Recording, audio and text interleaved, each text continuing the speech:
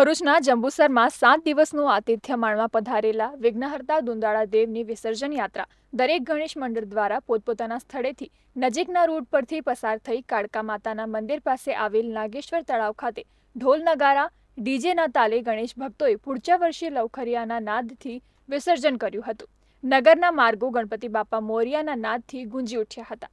ગણેશ વિસર્જન શાંતિપૂર્ણ માહોલમાં સંપન્ન થાય તે માટે અને કોઈ અનિચ્છનીય બનાવ ન બને તે માટે સમગ્ર રૂટ પર ચાંપતો પોલીસ બંદોબસ્ત ગોઠવવામાં આવ્યો હતો. તો જંબુસર નગરપાલિકા દ્વારા પણ ગણેશ વિસર્જન માટે નાગેશ્વર તળાવ ખાતે તરાપા, તરવૈયા, લાઇટિંગ, પીવાના પાણીની સુંદર વ્યવસ્થા કરવામાં આવી હતી. તથા પોલીસના માણસો લગભગ બસો દસ જેટલા અને એક એસઆરપી કંપની તથા પાંચસો પચાસ જેટલા હોમગાર્ડ જીઆરડીના જવાનો બંદોબસ્ત માલમાં ફરજ બજાવી રહે છે. આ વિસર્જન યાત્રા માટે પોલીસ કોઈ એનએસસીની બનાવ ન બને તે માટે સતત બંદોબસ્ત કરી રહેલ છે અને યાત્રા શાંતિપૂર્ણ રીતે પૂર્ણ થાય તે બદલ અમે કટિબદ્ધ છીએ.